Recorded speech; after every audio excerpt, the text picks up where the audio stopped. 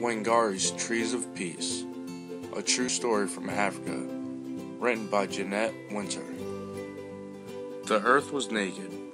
For me, the mission was to try to cover it with green. Wangari Maathai. Wangari lives under an umbrella of green trees in the shadow of Mount Kenya in Africa. She watches the birds in the forest where she and her mother go to gather firewood for cooking and she helps harvest the sweet potatoes, sugarcane, and maize from the rich soil.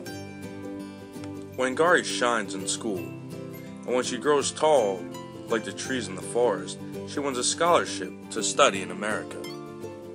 Six years later, her studies over, Wangari returns to her Kenya home and sees a change. What has happened? She wonders. Where are the trees?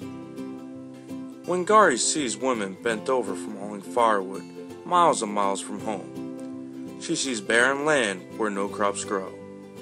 And where are the birds? Thousands of trees have been cut down to make room for buildings, but no one planted new trees to take their place.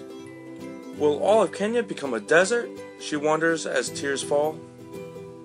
Wangari thinks about the barren land. I can begin to replace some of the lost trees here in my own backyard, one tree at a time. She starts by planting nine seedlings. Watching the seedlings take root gives Wangari the idea to plant more, to start a farm for baby trees. A nursery. In an open space, she plants row after row of tiny trees. Next, Wangari convinces the village woman that planting trees is a good thing. She gives each one a seedling. Our lives will be better when we have trees again. You'll see. We are planting the seeds of hope. The woman spread out over their village, planting tiny trees in long rows, like a green belt stretching over the land. The government men laugh. Women can't do this, they say. It takes trained foresters to plant trees. The women ignore the laughter and keep planting. Wangari pays them a small amount for each seedling still living after three months, their first earnings ever. Word travels like wind rustling through leaves, about the green returning to Wangari's village. Soon other women in other villages and towns and cities in Kenya are planting long rows of seedlings too. But the cutting continues. Wangari stands tall as an oak to protect the old trees still remaining. We need a park more than we need an office tower. Government men disagree. Wangari blocks their way, so they hit her with clubs. They call her a troublemaker and put her in jail. And still she stands tall. Right is right, even if you're alone. Wangari is not alone. Talk of the tree spreads all over Africa, like ripples in Lake Victoria.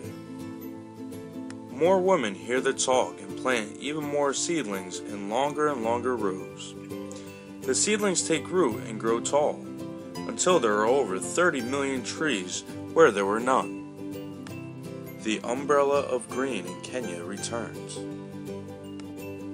Women walk tall, their backs straight, for now they can gather firewood closer to home. The land is no longer barren. Sweet potatoes, sugarcane, and maize grow again in the rich red earth. The whole world hears of Wangari's trees and of her army of women who planted them. If you were to climb to the very top of Mount Kenya today, you would see the millions of trees growing below you, and the green Wangari brought back to Africa. People are fighting over water, over food. We plant the seeds of peace. Wangari Maathai.